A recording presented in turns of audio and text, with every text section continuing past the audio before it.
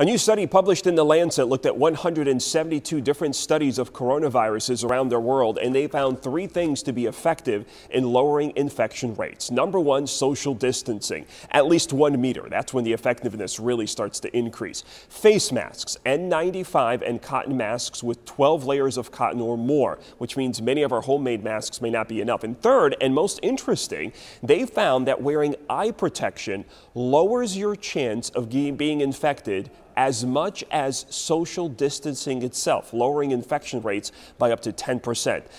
Further studies are needed. Confidence in this is still pretty low, but this could mean the World Health Organization may be adding a new recommendation for keeping us safe.